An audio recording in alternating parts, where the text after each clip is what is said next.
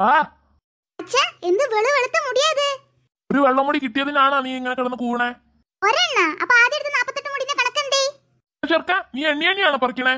അല്ലാണ്ട്? ആ ബെസ്റ്റ് നരച്ച മുടി എണ്ണിയാലേ നിര കൂടെ ഉള്ളു പൊട്ട. ഓ അപ്പൊ അച്ഛനും പണ്ട് എണ്ണി എണ്ണി അച്ഛമ്മേന്റെ മുടി പറിച്ചോണ്ടേക്കില്ലേ? അച്ഛമ്മേന്റെ മുടി ഫുള്ള് നരച്ചു പോയെ. അച്ഛൻ എന്തൊരു ദുഷ്ടനാ. ഓ നിന്നോടൊക്കെ പറഞ്ഞിട്ട് എന്ത് കാര്യം? നീ എന്താ വെച്ചാ കാട്ട്? കാലത്ത് തന്നെ അച്ഛനും മോനും കൂടെ എന്തെടുക്കുവാ? അമ്മേ അമ്മയ്ക്ക് വല്ല ഇൻഷുറൻസ് ഉണ്ടോ? ഇൻഷുറൻസോ ഇല്ലടാ കണ്ണ എന്തേ? കടം തന്നെ വല്ല ഇൻഷുറൻസോ സേവിങ്സ് അക്കൗണ്ട് തുടങ്ങി വെച്ചോ. അച്ഛന്റെ മുടി ഇപ്പൊ തന്നെ നിറയ്ക്കാൻ തുടങ്ങി. ചെറുക്ക അടങ്ങിയിരുന്നോ? അല്ലെങ്കിൽ എന്റെ കയ്യിൽ നിന്ന് മേടിക്കും അല്ല ഈ ഇൻഷുറൻസ് എങ്ങനെ തുടങ്ങുക? രാമേ! അയ്യോ ഞാൻ അങ്ങനെ ഉദ്ദേശിച്ചിട്ടല്ല. ഭാവിയിൽ ഉപകാരപ്പെടുമല്ലോ എന്ന് വിചാരിച്ചിട്ടാ. രമേശ? ആ ഇതായാലും മിനിയോ. അകത്തേക്ക് വാ മിനി. എന്താ മിനി? ഇരിക്കേ. ആ എന്താ മിനി പതിവില്ലാണ്ട് ഇങ്ങോട്ട്? അത് രമേ ഇന്ന് വൈകിട്ട് റെസിഡൻസിലുള്ള എല്ലാരും ടൂർ പോവാന്ന് പറഞ്ഞില്ലായിരുന്നോ? അപ്പൊ അതിനെ കുറിച്ച് സംസാരിക്കാൻ വേണ്ടി വന്നതാ. ആ എന്താ മിനി? എടുത്ത ഡിസിഷനിൽ എന്തെങ്കിലും മാറ്റമുണ്ടോ? ഏ അതൊന്നല്ല രമേശ. ടൂറ് പോണ കാര്യമൊക്കെ ഓക്കെ തന്നെയാ. പക്ഷെ ഞാൻ വരുന്ന കാര്യത്തിൽ ചെറിയൊരു ബുദ്ധിമുട്ടുണ്ട് പറഞ്ഞായിരുന്നോ ഇല്ല മിനി ഞാനെന്ത് പറയാനാ ഇല്ല മിനി എന്താ വരാത്തെ മിനിക്ക് വരാൻ എന്താ ബുദ്ധിമുട്ട് അത് ടൂറ് പോകാനുള്ള ഫണ്ട് ഞാൻ മാറ്റി വെച്ചായിരുന്നേ അപ്പൊ അമ്മായിമ്മക്ക് ഒരു എമർജൻസി ആയതുകൊണ്ട് ആ ഫണ്ട് അമ്മായിമ്മക്ക് കൊടുക്കേണ്ടി വന്ന്. അപ്പൊ ടൂറ് പോണത്ര ഫണ്ടിന്റെ ഫണ്ട് എന്റെ കയ്യിലില്ല. അതാ ഇന്നലെ രമേശൻ ബോണസ് വാങ്ങി ലോണത്തിന്റെ. അപ്പൊ രമേശന്റെ കയ്യിൽ നിന്ന് എടുത്തു കഴിഞ്ഞാൽ ഞാൻ എന്റെ സാലറി കിട്ടുമ്പോ കൊടുക്കാന്ന് പറയാൻ വന്നതായിരുന്നു. അതിനെന്താ മിനി? ടൂറിലേക്കുള്ള നിന്റെ ചെലവ് ഞാൻ ഏറ്റെടുത്ത്. എന്നാ ശരി രമേശ. ഞാൻ പോയിട്ടേ.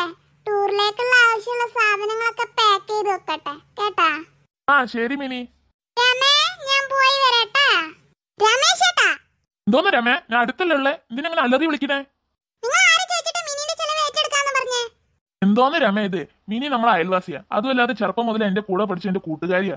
അതുമാത്രമല്ല ഓഫീസിൽ ഇപ്പൊ എന്റെ കൂടെ വർക്ക് ചെയ്യണേ പിന്നെ അവൾ ചോദിച്ചിട്ട് ഞാൻ ഇല്ലാന്ന് അങ്ങനെ പറയണേ? ഇന്നലെ ബോണസ് വാങ്ങുമ്പോൾ അവൾ കണ്ടതുമാണ്.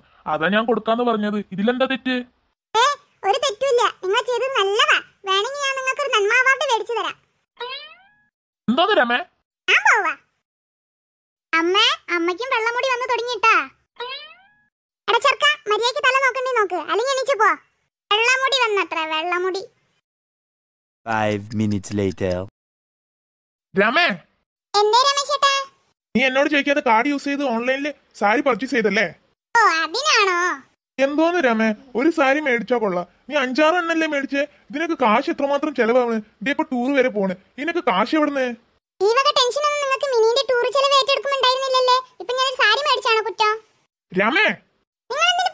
തുള്ളി ചാടണേ ഓവർ തുള്ളി ചാടല്ലേ ഓവർ തുള്ളി ചാടിയാലേ ടൂറ് പോണത് ഊട്ടിയിലോട്ടാ.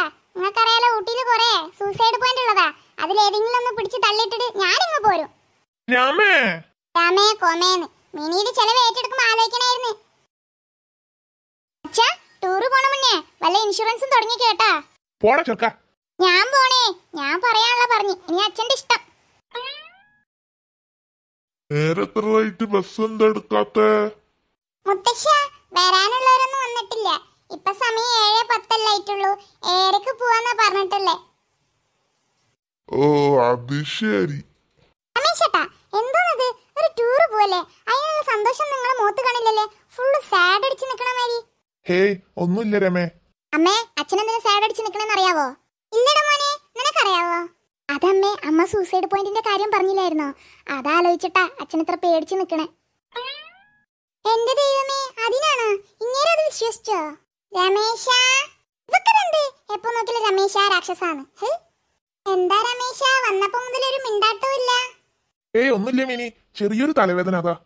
ആ ഇതുപോലെ എന്തെങ്കിലും നടക്കും എനിക്ക് അറിയായിരുന്നു. അതാ മുൻകരുതലോടെ വിക്സ് എടുത്തു വന്നിട്ടുണ്ട്.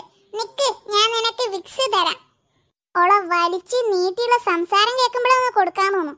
ഇതിലോൾ ഫസ്റ്റ് എയ്ഡ് ചെയ്യാൻ പോണത്രേ. അയ്യോ മിനി വിക്സ് ഒന്നും എടുക്കണ്ട. വിക്സ് ഒക്കെ വീട്ടിൽ നിന്ന് തേച്ചിട്ടാ വന്നേ. ഓ അപ്പം വിക്സ് ഒന്നും തേച്ചിട്ട് തലവേദന പോയില്ല രമേശ? ഞാൻ വേണമെങ്കിൽ നിനക്ക് മസാജ് അങ്ങ് പമ്പ കടക്കും. ഞാനൊരു ചവിട്ട് വെച്ച് തന്നെ നീ അങ്ങ് പമ്പ കടക്കും. രമ എന്തെങ്കിലും പറഞ്ഞായിരുന്നാ? ഞാനെന്ത് പറയാ? ഞാനൊന്നും പറഞ്ഞില്ല. രമേശ മസാജ് പറഞ്ഞിട്ട് നീ എന്തൊന്നും പറയാത്തേ? അയ്യോ വേണ്ട മിനി. തലവേദന ഒക്കെ മാറി. ഇപ്പൊ കുഴപ്പമില്ല. സമയം ഏഴ് ആവാനായി കേറാനുള്ളവരൊക്കെ ബസ് കയറി ബസ് ഇപ്പൊ എടുക്കോ.